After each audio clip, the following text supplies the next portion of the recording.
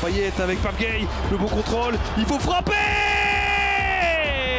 Monsieur Pape Gay qui ouvre le score 11e minute de jeu